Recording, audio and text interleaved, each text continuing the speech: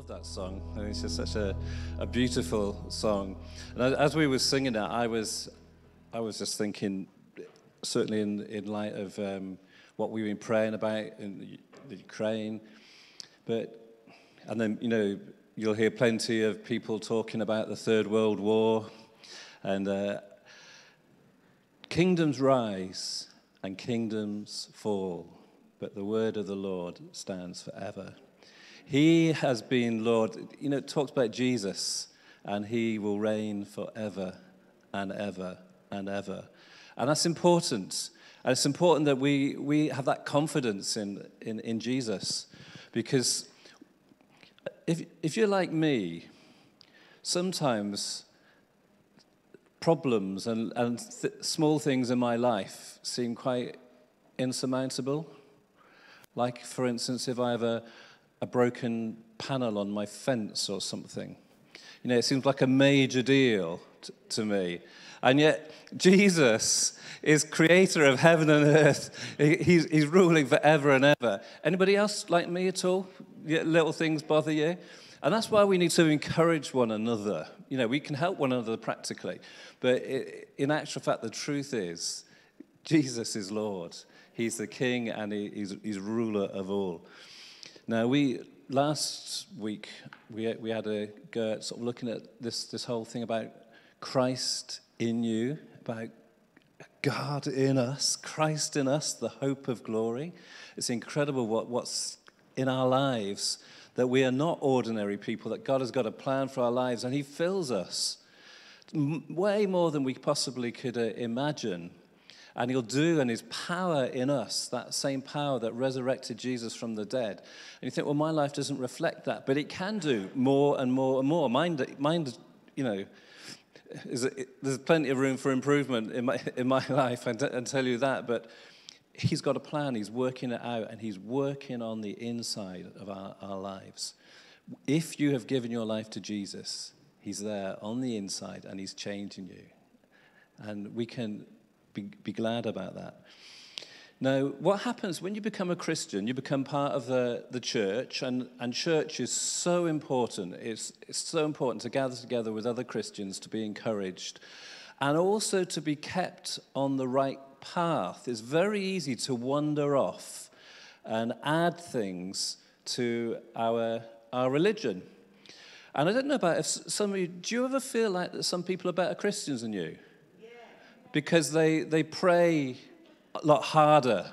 They fast more than you do.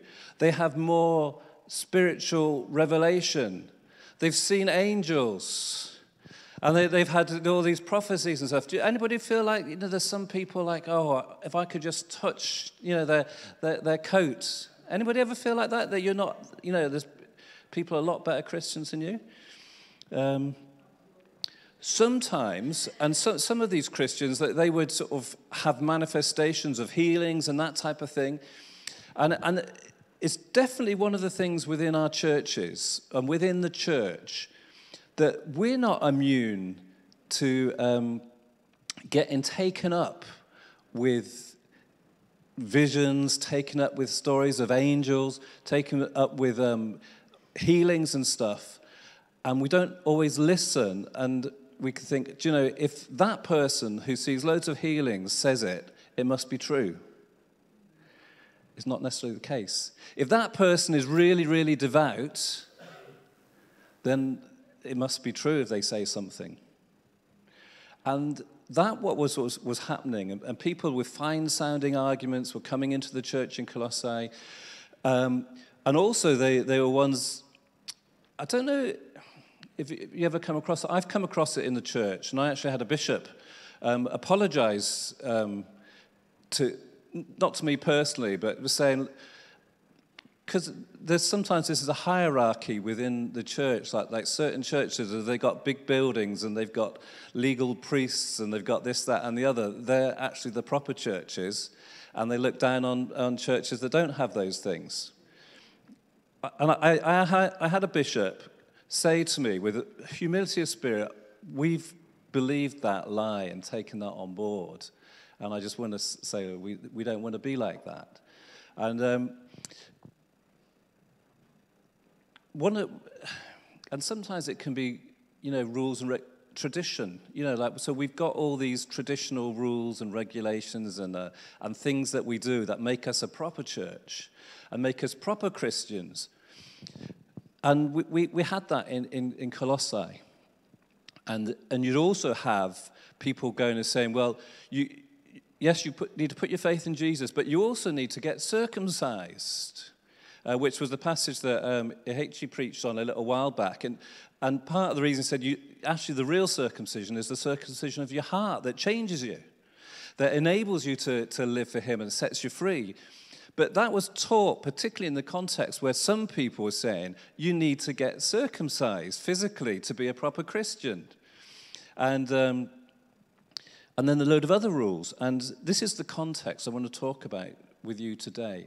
But it's very real for us in the church today. We need to understand when people are saying things, and uh, I've, whether it's about rules and regulations,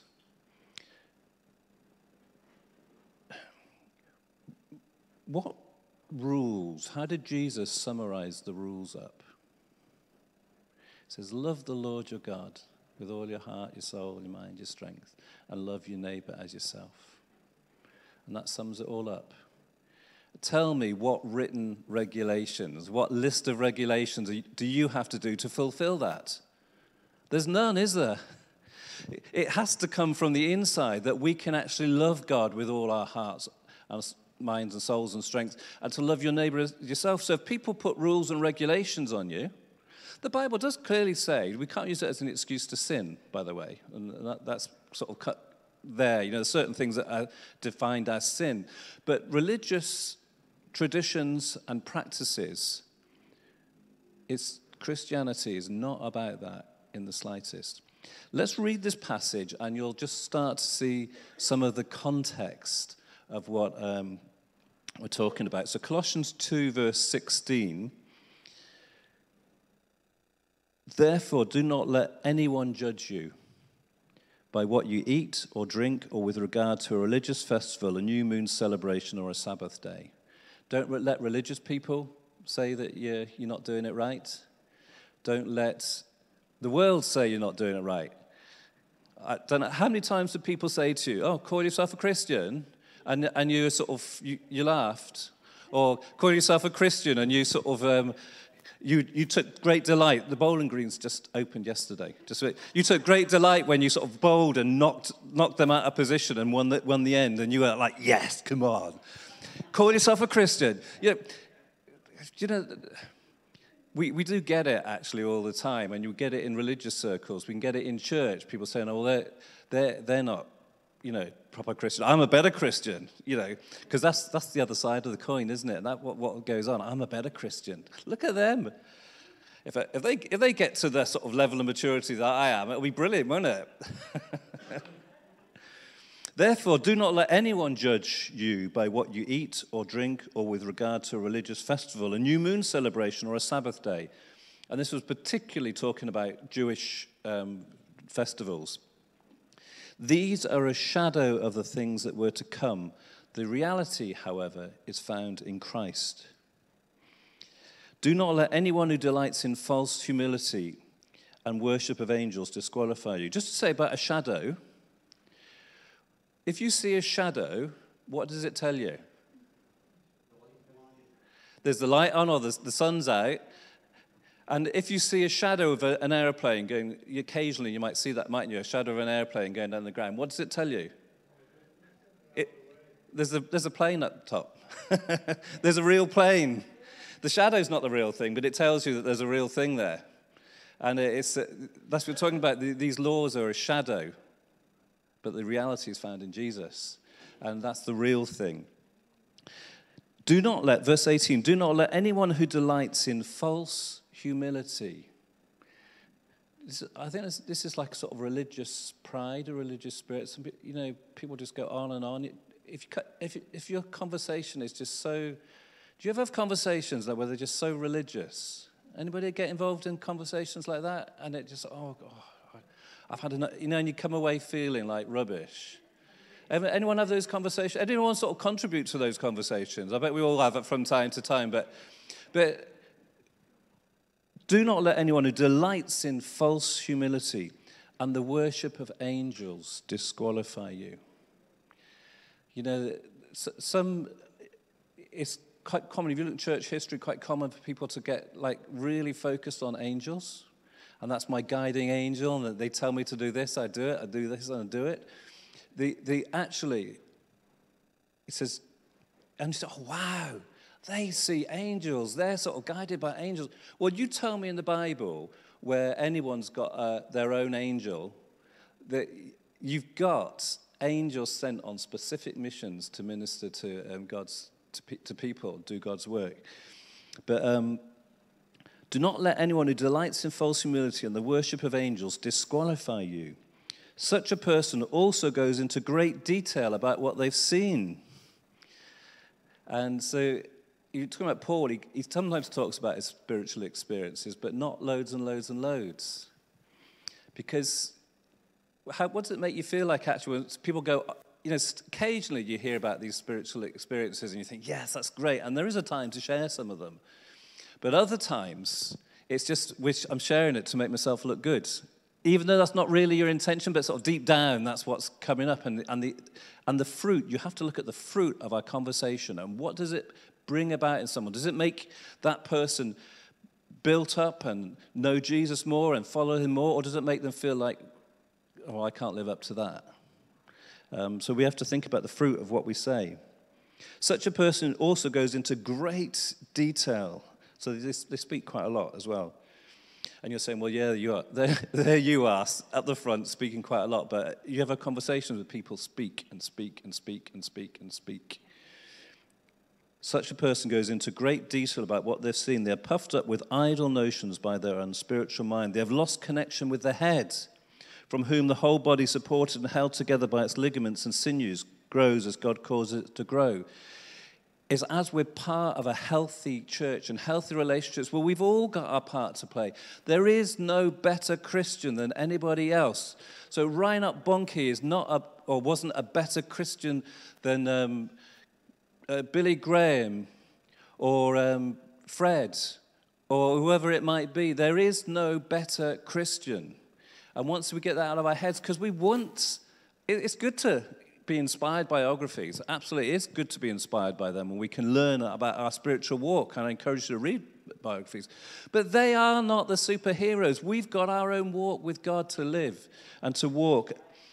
The, and we need to do that as part of the body of Christ, that you've got your role, I've got my role, and there, there isn't somebody who says, well, because I've been in conversations where you get included and say, you, you know, it's great, you know, we're talking with a, you're, you're on my level type thing, you know, we can, we can sort of, you know, and uh, shame they're not so mature type thing. And, and, and you think, oh, look, we're part of the body of Christ together. They've lost connection with the head from whom the whole body, supported and held together by its ligaments and sinew, grows as God causes it to grow. Since you died with Christ to the elemental spiritual forces of this world, why, as though you still belong to the world, do you submit to its rules? Physical rules about physical practices. Do not handle do not taste. Do not touch. These rules, which have to do with things that are all destined to perish with use, are based merely on merely human commands and teachings. Now, this is where we can get taken up with stuff, and, and, and we go through different seasons in our life um, where you know, God's challenging us on something, and we do need to have an extra special discipline in our life because God's calling us to do something, to go through a season of fasting or, or extra prayer or something like that. But that isn't a rule. It's out of our love relationship with the Lord that He's asking it to do it, not because someone else has put it on us and saying, This is what you've got to do. And um, the thing is, such regulations indeed have an appearance of wisdom. So that's why we get taken in by them. because it appeals to sort of human nature. It seems to make sense. It seems to make sense, you know, that, well, perhaps I should walk on my knees and go on to this and to show that I'm really, really sorry. You know, I need to walk up all these steps on my knees. Could that happen? yeah, church history tells us it does happen. But we can feel like, oh, I've got to do this. Or um, with their self imposed worship, I've got to pray so many Hail Marys. I've got to do this penance. And I, I'm not picking on a church, actually, and saying this. I'm just pointing out situations where we see this in our world and in this church world today. Um, so there's various things. So I can pick as, as well on the Pentecostal sort of side of things as well, is this desire to have visions and the, the, the focus on healing. And if someone has a ministry of healing or people fall down, then everything they say must be true. And what you find is when that happens, and, you, and you'll see this in church history, that people that have amazing ministries, there's quite a number, because they've been so exalted, that they think that whatever they say is true, and they've gone down a path of error. And they've started to bring false teaching in. And that and that can happen because we don't want to throw out the baby with the bathwater. We want healings. We want prophecies. We want to, you know, you know, God's angels to be released as he, as he sees fit. We want all of that to happen. And we want people to be saved and delivered. So we, we don't throw it out with the bathwater. But when we're so focused on those things and we don't discern what right teaching is, it's important. A lot of the New Testament is written about the right teaching. And I never realized this, but I've seen this during the, um, the COVID time. People sort of get involved. There's so much to choose from. How do you discern what is right and wrong? The important, I think, one of the key elements is one is reading your Bible and having a relationship with the Lord. Another thing is just being in a healthy relationship within a church that keeps you, keeps you right. There's so much choice. And, and people choosing such weird and wacky stuff um, to, to follow. And it, it, make, it makes sense. If, if people are saying it with such, um, what does it talk about them?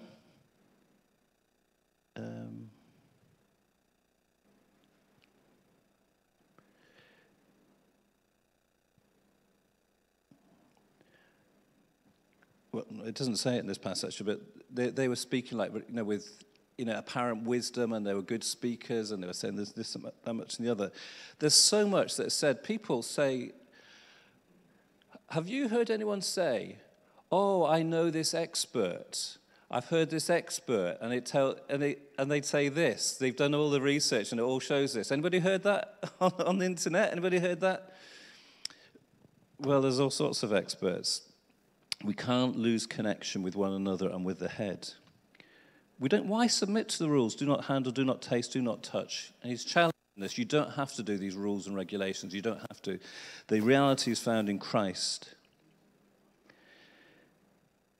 Such regulations, verse 23, indeed have an appearance of wisdom with their self imposed worship, their false humility, and their harsh treatment of the body.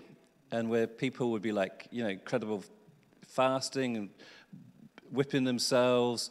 Remember Martin Luther? Uh, he, he came, he was, um, you know, he would sort of crawl and make his knees bleed because he wanted to get his life right with God. And then he came to realize that justification was by faith in Jesus alone. It was the righteousness that comes by faith. And that changed, and that's when the, the Reformation started. But he was right into all that sort of stuff and the harsh treatment of the body. But the truth of the matter is, external regulations, you have to do this, that, and the other. And if you try to be a good person, try and be a good Christian, it doesn't work. They lack all these rules and regulations, they lack any value. They can't make you holy. You know, if you tell a child, don't do that, it almost like it, it breeds something. It like it, it, it, it sort of starts something off in their thinking. Oh, I need to do that. And so that external rule provides that it's almost like it, it, it creates something within them. Um, or what about, have you ever made a New Year's resolution? And it's like you make a, a man made, remember we're talking about man made rules and regulations. You make your own regulation, and then, oh, it becomes such an issue to you. so that, so, you know, the gym membership increases massively and then sort of stops after sort of by the end of January. But it, the, the external rule creates something within us, like almost to fail. And actual fact, all the rules and regulations in the Old Testament and the festivals, they point to Jesus, who's the real thing. And I want to give you a couple of examples of this. Are you, are you all right with me with this at the minute? I just, um, it's, um, I want it to be grounded in our lives, okay? Because I want us to be disciples of Jesus that are growing and growing and impacting. And I, I you know, I'm, I'm really excited about what's happening at church, and, and, it, and it comes from people that are growing in the Lord. And so we have all these various things going on, and yet we're a family on mission, and I, just something that's in my spirit, just take, God wants us to go further, to reach out. We've got these, um, and it's something that um, um, was said in a meeting that we had. You know, there's thousands of people around us that perhaps we need to go out so, uh, and we've got something brilliant to invite them to. We've got something really, really good to invite them to, and we need to go out and take in that gospel, this good news of Jesus. Um, these feasts, it mentions a, a number of so don't let people judge you by what you eat or drink with regard to religious festival, a new moon celebration, or a Sabbath day. So just regard with eating and drinking. It was to do predominantly to do with idol worship. Should we um, eat this food that's been offered to idols or not eat this food that's been offered to idols. But you get it in terms of today, you know, vegetarianism or, or whatever, you know, but that's a, a moral, it's become a moral issue um, type thing, whereas I don't think the Bible has it like that. Um, but it, it, can, it can also be to do with like the, uh, the laws of um, eating pork and, and things like that in the Old Testament. So don't let anyone judge you by that. Jesus said, and remember the Pharisees, they always came to Jesus asking him about, can we do this? Can we not do that? What's the right thing? You know, external laws they came to him about. And Jesus always spoke to the heart. He always spoke to the real issue. They always came to him trying to trick him with external regulations, and yet the real issue is in the heart. So, Matthew 15, um, then some Pharisees and teachers of the law came to Jesus from Jerusalem and asked, Why do your disciples break the tradition of the elders? They don't wash their hands before they eat. And Jesus replied, And why do you break the command of God for the sake of your tradition? For God said, Honor your father and mother, and anyone who curses their father or mother is, is to be put to death. But you say that if anyone declares that, that what might have been used to help their father or mother is devoted to God, they are they are not to honor their father or mother with it. Thus, you nullify the word of God for the sake of your tradition. You hypocrites, Isaiah was right when he prophesied about you. These people honor me with their lips, but their hearts are far from me. They worship me in vain. Their teachings are merely human rules. And uh, there was a time when they, um, they were eating from the corn of the, the field, and, and, and, and Jesus pointed out about David going in and taking the bread off the altar. Um, and there was a, a pivotal moment in the book of Acts when Peter was up on the roof asleep. And, uh, and God gave him a vision about eating unclean food. And it was pivotal because it that opened up the door for the gospel to be taken to the Gentiles. Um, Jesus called the crowd to him and said, Listen and understand. What goes into someone's mouth does not defile them, but what comes out of their mouth, that is what, de- what defiles them. Romans 14, verse 17 says, For the kingdom of God is not a matter of eating and drinking, but what is it of? Of righteousness, peace, and joy in the Holy Spirit What are we focused on? The external? Our lives are lived out in the external, but it's based on, it's not about rules and regulations. You don't have to do anything. You don't have to volunteer. You don't have to come to church. Why do you come to church? Because, oh, I have to to be a good Christian? No. I come to church because I want to meet with God's people and I want to worship God and I want to obey what He says about meeting together with other Christians. I want to encourage my brothers and sisters. That's why it is. It's not because I got to. And that's even for me, I'm employed here. It's not because I've got to. it's not a matter of eating and drinking. And Jesus very clearly said that. And just qu- quickly, those feasts, you can see them in, Le- mentioned in Levit- Leviticus 23. There's, there were seven sort of annual feasts, um, like Sabbaths and special um, days. I just wanted to pick out um, a couple of them. The Day of Atonement was mentioned there, where they, that what happened was it was a day to sort of just cleanse and take away the sin um, of the, the people of God. And it involved the priest laying his hand on a, on a lamb and the lamb being taken out and sacrificed outside the, the city. It's called the Day of Atonement, and um, there was a lot going on to do with that. I'm not going to into all the details. That is a shadow of the reality, and the reality is found in Christ. Remember John? John 1 says, The next day John saw Jesus coming towards him and said, Look, the Lamb of God who takes away the sin of the world. Do I need the, the Day of Atonement? I don't, because Jesus fulfilled it all.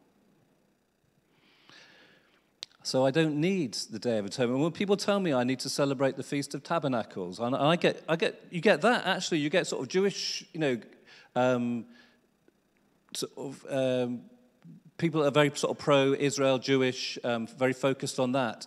They sort of say, well, we should be celebrating these feasts. Well, that's fine. They're very welcome to, and you're very welcome to celebrate it. But don't judge me if I don't, because I don't see the need to. But I, you know, I respect that you, have got reasons for doing that. But I, you know, and, that, and, that's the way we live. It doesn't stop me loving you. But there's no point having an argument about it or separating with us about it. But for me, I don't need to do that. Um,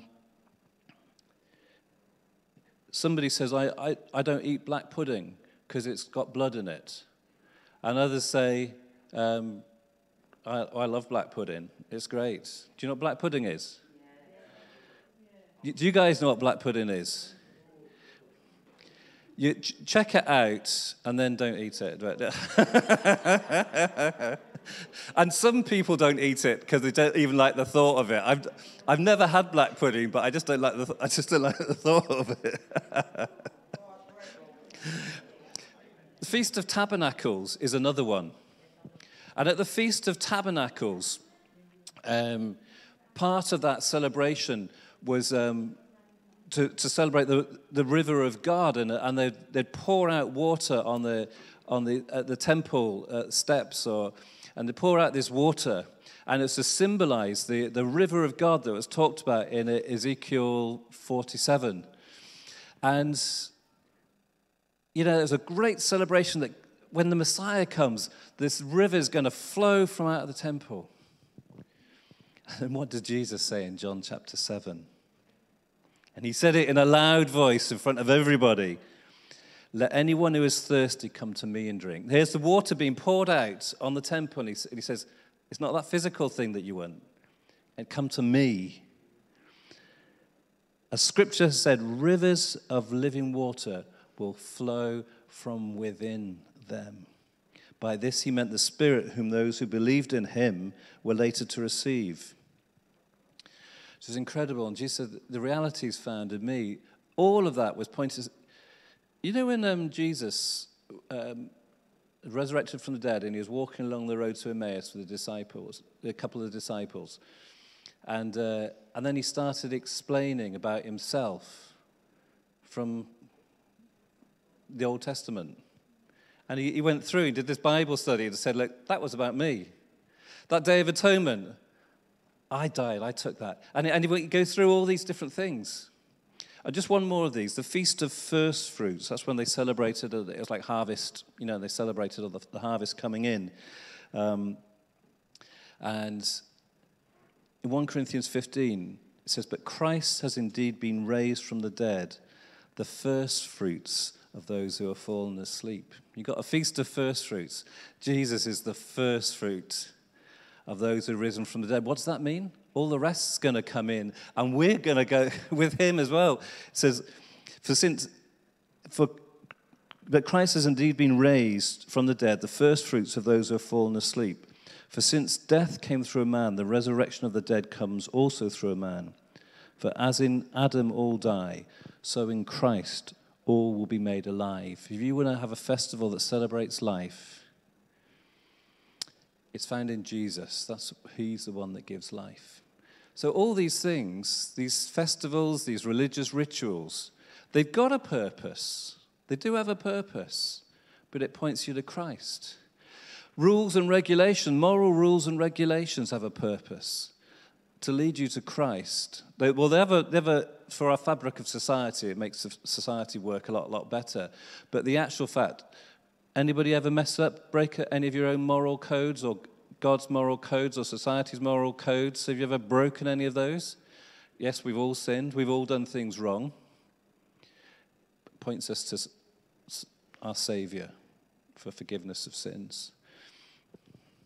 So don't let anyone judge you because of your heritage or, your, or the outward trappings of religion.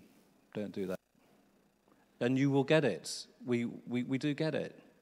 Um, it interesting, the Pentecostal denomination, um, that, they had that all the time and constantly being looked down on. Well, we've become a bit more respectable now, so we don't, we don't get that. We probably need to be a bit less respectable. What about preaching the simple gospel? you know, oh, that's a bit ignorant and a bit sort of simple, isn't it? You're a simple church. Well, don't let anyone look down on us because of those sort of things. Don't look down on yourself because you think somebody is a better quality Christian than you. Just come before the Lord and you, you live out your life and walk with the Lord as part of the church and knowing Jesus as your head. Don't feel that you have to do penance for things that are done wrong. Yes, we need to do restitution if we're able to um, put things right, if we've done things wrong. But some, quite often we can't put things right. When you said something nasty, you, you can't really put it right. You can apologize, but you can't, you can't put the word back in again. Don't get taken up with the, the thirst for spiritual experiences. We, we, we hope to have spiritual experiences, but don't get caught up in that. Don't get over impressed by people that have them. Don't get caught up with, you know, be over, uh, you know, concerned with people that go on about angels or they go on and on and about spiritual experiences and, and it's like a religion. Or prophecies or great healings. Don't get caught up with rejoice with things. Don't believe everything you read as well, by the way. Um, don't know how many times people have had to sort of put stuff down and said, oh, that wasn't true. Um, but don't get caught up with great um, people have done signs and wonders and have great ministries and the largest churches. And don't get caught up and say, God must be blessing them. And what they say must be true. The best way to work that out is as part of a church, in actual fact, when there's things that concern you. What can happen as well if we have a desire for all this, you know, incredible supernatural, which of course we do want. You know, I, am not, I'm really not doing it down, is it, but I, I want to sort of say what the passage is saying, really. Um, if we focus on that, we'll set up for disappointment. And yet, Jesus is the one who satisfies. We develop our walk with Jesus. We will see miracles. I, I, I can, and over the years, you'll have heard me give testimony after testimony after testimony where God has done, you know, healings and miracles. In, I, I, I could just talk about when I worked in the warehouse and I just said one after the other, after the other, after the other. So all the time in, in the workplace. Um, but sometimes it's seasons as well. it's possible to lose connection with the head, namely Jesus, and from the rest of the body. And some, some, you know, it's important that we are linked in with this. And the body grows as we're all connected together.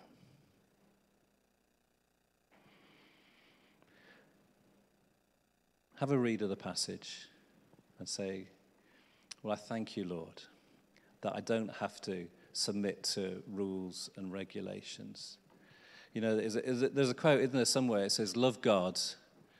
I think it said, Love God and do what you want.